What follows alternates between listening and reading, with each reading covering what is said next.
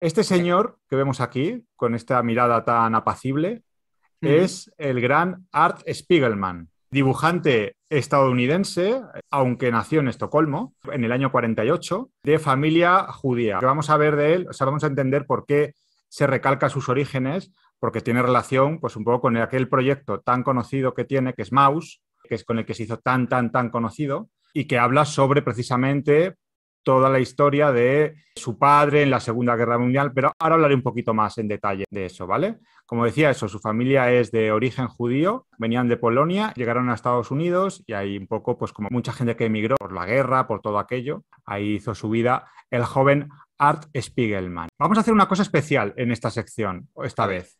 En lugar de ir cronológicamente, como solemos hacer siempre, desde los orígenes hasta la obra más actual, aquí vamos a hacer un pequeño salto al revés. Vamos a ir primero a su obra más conocida y vamos a irnos a una parte de su trabajo que es bastante más peculiar. Rau fue un poco lo primero, así, vamos a decir, profesional en lo que se metió Art Spiegelman. Él estudió arte en escuelas y tal, no llegó a acabar la carrera de arte y se metió a editar esta revista, que era una revista pues de cultura underground, de cómic, que él hacía con su pareja, con su actual esposa, François Mouly. Rau era una revista que era un poco, vamos a decir, la alternativa un poquito más intelectual a revistas como Weirdo. ¿Te acuerdas de Weirdo?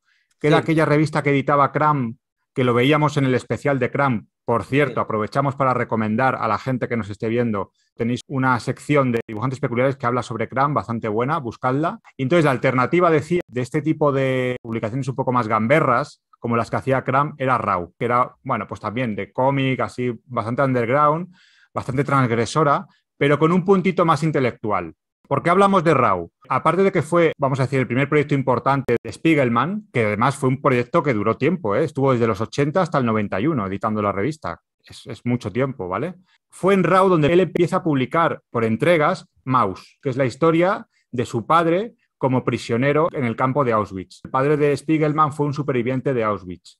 Entonces cuenta en un cómic toda la historia de su padre, de todas las penurias que pasó en aquellos tiempos, en fin, todo eso. ¿no? Aquí tenemos una viñeta de Maus, que es él retratado como un ratón. Maus es el típico cómic que leen hasta la gente que no lee cómics. Creo que si todo el mundo tiene en su biblioteca, aunque no haya leído nunca un cómic, Maus. No sé por qué, se, hizo tan popular. Piensa que es un cómic por el que Art Spiegelman llegó a ganar el premio Pulitzer, que eso es un premio que se destina sobre todo a periodistas y que era muy extraño o muy inusual que lo ganara un dibujante de cómic. Pero bueno, el caso es que con Maus, Art Spiegelman se lleva el premio Pulitzer. Fue una obra que le llevó casi pues 10 años. Los 10 años que publicó en RAW, pues luego lo recopiló, incluso redibujó páginas, porque ahora vamos a ver una viñeta de esa época que tiene un estilo completamente diferente. Si te fijas bien, verás que el estilo es muy diferente al Maus que conocemos, menos suelto, menos tal, ¿vale? Ya digo, Maus es la gran obra de Art Spiegelman, con la que, bueno, se hace mundialmente conocido. Eh, incluso Maus ha sido expuesta en el MoMA de Nueva York. Estamos hablando de la gran novela gráfica. Podríamos decir que esta es como en esta cosa que hacemos de dibujantes peculiares, esto es una buena representación de algo peculiar. Yo creo que en cuanto al estilo gráfico, sí, desde luego la propuesta es bastante peculiar. Pero vamos a descubrir una parte de Spiegelman, retrocediendo en el tiempo, que nos va a sorprender mucho.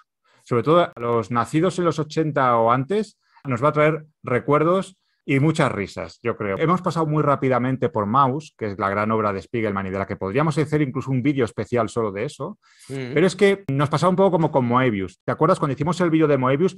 Aprovechamos para recordar a la gente que hay un especial de Moebius también, dibujantes peculiares, etc, etc, que lo podéis buscar. Cuando veíamos Moebius pasábamos muy de corrido la parte de Blueberry, que fue su gran serie. Pero es que a mí me interesa más rebuscar un poco en los rincones oscuros de cada autor. Entonces, Maus pues ya digo, creo que es un cómic que sucede como con otros eh, grandes cómics como Persepolis, por ejemplo, de Marjan Satrapi, que realmente todo el mundo lo conoce o es muy popular. Entonces me interesa más aquello que es más desconocido.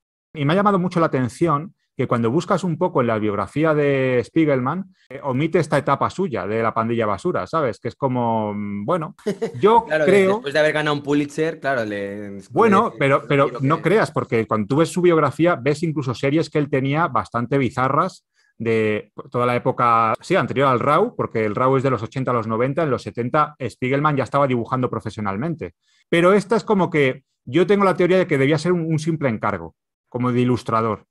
Y entonces, al no tener esa parte de autor, entonces, bueno, está un poco como que lo omite. Piensa que esta serie además era una especie de parodia de unas muñecas que se hicieron muy famosas en los 80 y se vendían muchísimo e incluso tengo entendido que se metieron en algunos problemas de copyright y tal por lo mucho que se parecían. Había unas muñecas que no sé cómo se llamarían porque creo que en cada país tenían un nombre. Aquí yo las escuché por muñecas peponas incluso, que eran así como unas muñecas así que tenían hoyuelos y tal.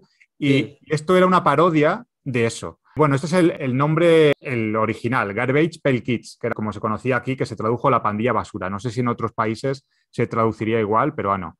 Aquí era eso. Y ahora quiero ver a algunos contigo para que nos echemos aquí unas risitas. Porque son a cuál más gamberro, en fin, tiempos locos.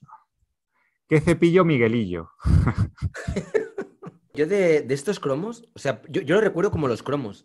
Sí. Yo no recuerdo haber visto ninguna serie ni nada. Yo recuerdo Ahora vas a ver, ahora vas a ver. Eh, De hecho, yo recuerdo, tengo una anécdota en el colegio, tío, o sea, de, de los profesores, descubrirnos estos cromos y quedarse muy escandalizados. E incluso recuerdo un profesor, pero te estoy hablando de que a lo mejor yo tenía, pues no lo sé, ¿eh? siete años, seis años, ¿eh?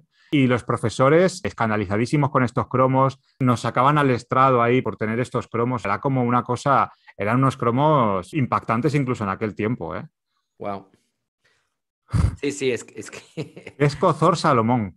Además, buscando esas rimas cutres, porque son cutrísimas, me gusta porque hay un punto de la esencia del ser, hacer algo gamberro por hacer algo gamberro. ¿Sabes? Mm. Porque aquí, ¿qué, qué tipo de. Qué, qué- qué sentido tiene nada de lo que estamos viendo? Ni la rima, ni nada. Abandonado Stanislao. ya está. Sí, sí, sí, sí, me encanta. Guarrona Guarrona secundona. secundona. Embalsamado hurtado. O sea, Embalsamado algunas rimas ya eran terroríficas, tan terroríficas como, como los propios cromos. Es que esta serie en su momento pegó muy fuerte, pegó muy, muy fuerte. Y eran cromos, ¿eh? cromos que se coleccionaban. Y, y era, vamos, hacía furor entre la chavalería. Yo te digo, ¿eh? Entre mis amigos los coleccionaba. Todos, todos teníamos estos cromos, todos teníamos estos cromos. Y es que los disfrutábamos muchísimo. Lengua inmunda facunda. Pero estos son suaves. ¿eh? Estos Ya, que, ya. esto que he seleccionado son los suaves. ¿eh? Esto es absoluta libertad. Esto es del 87, ¿eh? nada menos. Sí, del Que una 87. gente diga, vamos a hacer esto para los niños y se van a partir de risa. A mí este tipo de cosas me encantan porque tienen una cualidad que yo valoro mucho en general en todo y en la gente, que es no tomarse nada demasiado en serio. Es decir, al final vamos a acabar todos donde vamos a acabar. Y esto, cuando yo veo estas cosas, me parece que al final lo que hay de fondo es riámonos de todo, de los olores, de la peste, del, del- de las vísceras, de todo, ¿no? Riámonos de todo. Y, y a mí me parece que ni tú ni yo, creo, vamos, al menos por mi parte puedo decir, estamos demasiado traumatizados, ¿no? Por este tipo de... No creo yo que esto nos quitará el sueño ni... Bueno, no, desde luego, yo creo que no. Habría que ver, claro, ¿no? Cada uno, pero Cuestión de opiniones, ¿no? Igual hay gente que de Claro. repente ve mis dibujos y tal y dicen, pues este chaval sí que. necesita terapia, ¿no? sí. Yo creo que esto no nos ha dejado demasiada marca, pero, pero nos divertía mucho y al final, oye, pues cuando eres niño quieres pues reírte de, todo un poco también, Sí, ¿no? De- Totalmente. Cajoncito Vito. Madre mía. Ah, pero hay que, hay que decir que qué imaginación también, ¿no? ya digo que se metieron en líos, ¿eh? Tuvieron que modificarlos un poquito, aunque se parecen muchísimo. Fíjate que gamberros también, hacer parodia encima de unas muñecas así monas, que debían ser así como muy... y salir con esto, ¿no? Y yo tengo, de verdad, he grabado como muy, como un recuerdo de la infancia que lo pienso ahora y me hace mucha gracia, de este profesor enseñando los cromos. Mirad lo que he requisado a uno de vuestros compañeros. ¿Cómo es posible que, y encima comentándoselo a otra profesora como una cosa como si fuera casi una blasfemia? Si no conocían los cromos, Que desde, por cierto, la saludo desde aquí también. Dice, sacaron incluso una versión rasca huele. Uf, eso no, eso no lo conocía yo, pero eso tenía que ser ¿eh? ya. ¿Cómo debía oler? Moquito Eso tenía que ser ya. Hostia. Pilimili. Madre mía, tío. Apestoso, Apestoso generoso. generoso. Buah. Esto era loquísimo. Esto es, esto es loquísimo, loquísimo. Qué tirón La colección rigodón. completa se vende por un dineral en páginas como todo Claro. dice Joan Serrat. Me imagino, me imagino. Debe ser un pastonazo. Un ¿eh? pastón, claro. Fíjate, nosotros que teníamos estos cromos tirados por casa, ¿quién nos iba a decir que esto se iba luego a revalorizar tanto? ¿Quién piensa eso? no? Sardina florentina es demasiado, ¿eh? Pero los dibujos son buenos, ¿eh? Sí, la verdad que Ah, Los sí. dibujos son buenos, ¿eh?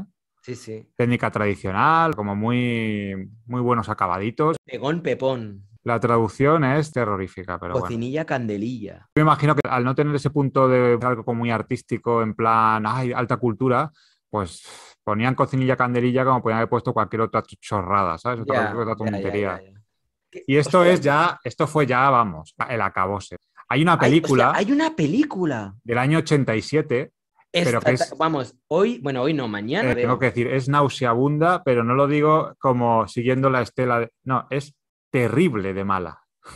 En serio. Oye, Yo la vi de niño, ¿eh? ahora, ahora que lo veo, me está dando me- la sensación de que yo la he visto esta Sí, película. seguro, porque es de estas películas que ponían 50.000 veces, se te quedaría a lo mejor de niño algunas escenas, luego la borras por tu propio bien, ¿sabes?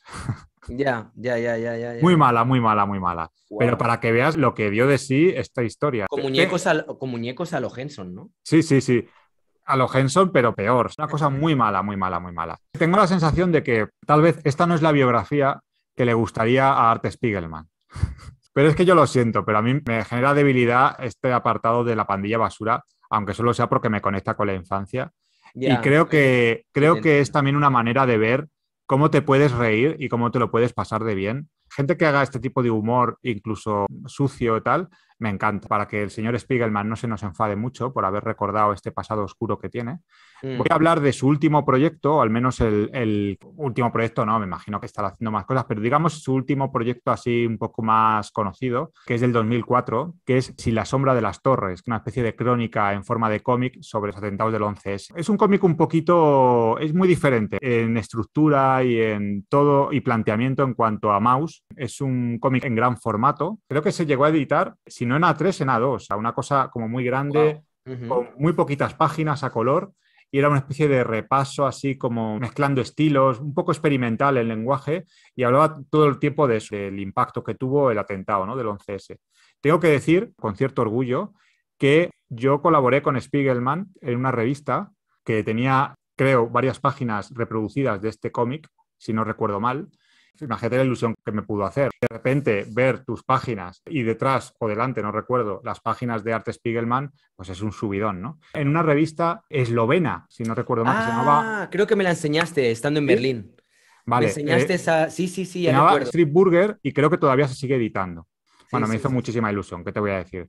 Me imagino que sería una cosa de estas de que él, cedería las páginas, en plan, o alguna cesión de derechos, alguna cosa de este tipo. Pero bueno, que mola mucho cuando compartes páginas con alguien a quien admiras tanto. Le pedimos disculpas al señor Spiegelman por haber destacado más que estar aquí horas y horas hablando de Mouse, pero es que de Mouse se ha dicho ya tanto. Pero bueno, hoy queríamos recordar pues toda su etapa de la pandilla basura, que a mí me parece divertidísima. Totalmente, bueno,